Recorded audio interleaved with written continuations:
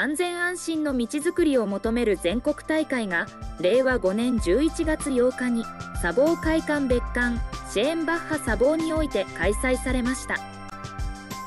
全国各地から地方自治体関係者や道路利用関係者などの約1500名が参集し熱気にあふれました。はじめに主催団体の古賀誠全国道路利用者会議会長が挨拶され続いて斉藤哲夫国土交通大臣などの来賓による挨拶をいただきました。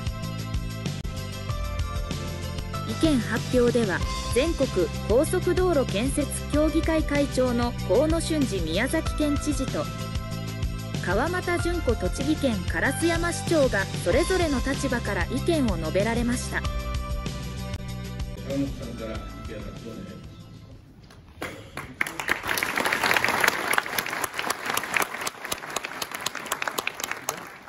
す。人口人口頑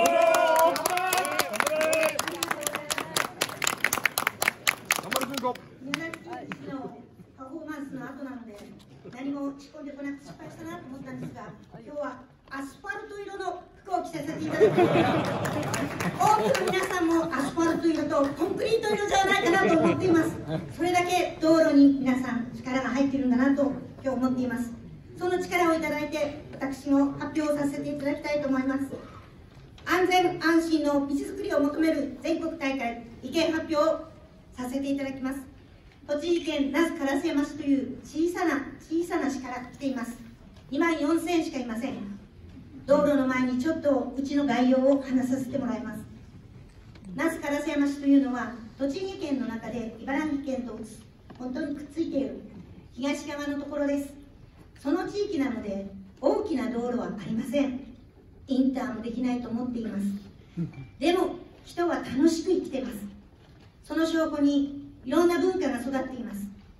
もう昔から伝統と歴史があり登山道そして古墳遺跡たくさんあります。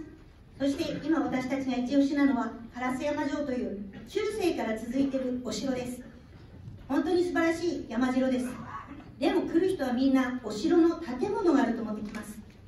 でも山城なんです。空堀とちょっとした堀しかありません。でもそれが大好きだという方もいます。その伝統を守って今那須烏山の中で烏山和紙という和紙の産業もあります。それを合わせて作っているのは山あげ祭りというお祭りです。和紙を網代に組んだ竹に張りそれを大きく山にして上げて神様を呼ぶお祭りです。屋台と山鉾そしてそういうものを引いて歩くだけのお祭りではなくその屋台の中に舞台が隠れています。舞台を出してそこで山歌舞伎を演じます。その場所がなんと道路なんです。道路でやるんです。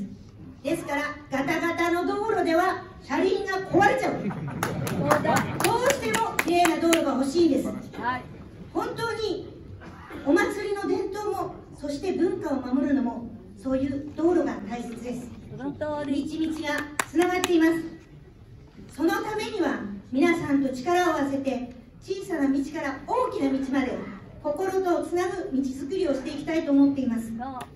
そのために私どもの方で国道があります。293号和菓子の北側を東西に通っています。そして294号これが中川町とつながっておりますが中川を境にずっと沿って南北に降りていきます。栃木県の中そして福島県茨城県とつながっています。その道路の中がまだまだ脆弱です。そこを解決してほしいんです。令和元年の時の東北台風。私どものところも中川が氾濫し水が乗ってしまいました。水道もダメになりました。住宅もダメになり農作物もダメになりました。でも今一生懸命復興しています。元気な笑顔でみんなが立ち上がって作業もしたり農作物も育っています。でも何の回収もまだまだ大きくされていません。また雨が降ったら同じことです。それをしないために今国の方がつくば闇溝街道縦貫道白川までの街道を考えてくださっています。県の方でも外設の概略のルートができてきます。進んでくれました。よかったと思っています。本当に市民も喜んでいます。でもこの範囲は市だけではない。大きな仕事です。ですから皆さんのパワーが必要です。私たち今ここにいるんですけどみんな一団結して栃木県でまとまっています。そのようにみんなで頑張っていくっていうことが子どものところできっと必要なんだと思います。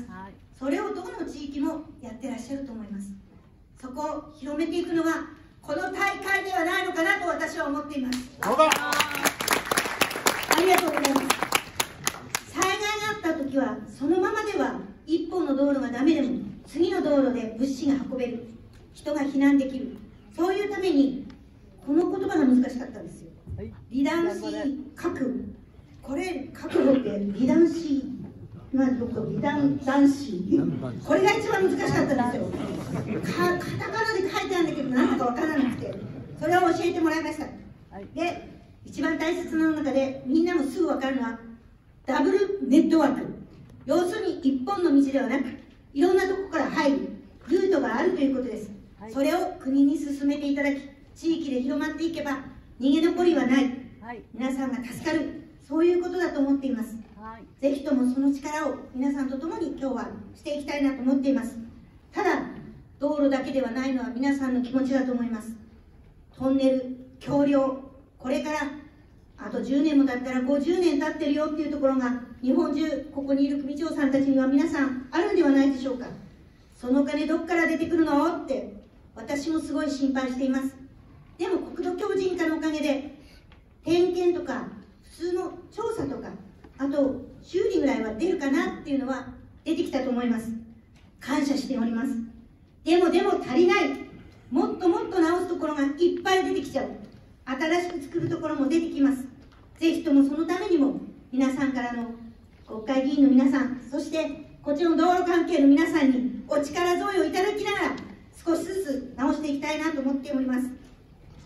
ただ国土強靭化の5カ年計画があってもこれから5カ年いつ終わっちゃうの先ほど言われたように新たな財源の創設それが令和6年度道路関係予算の必要な予算の確保とこんだけ横断幕になってます。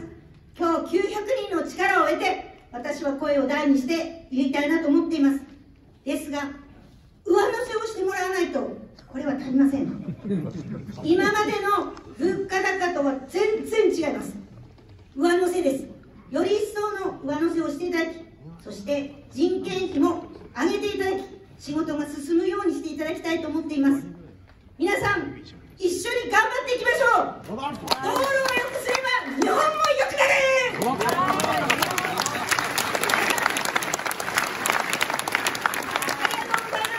一緒に道路を拡張し道路をツルツルにしみんなが安全になるようにしていきましょうよろしくお願いいたします本日はありがとうございます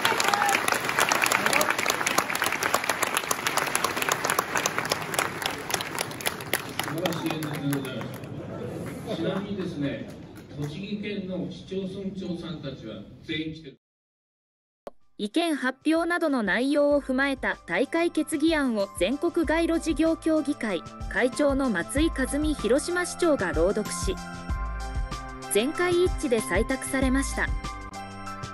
大会終了後は都道府県ごとに国会議員に要望活動を行い道路整備の促進などを求める要望を行いました。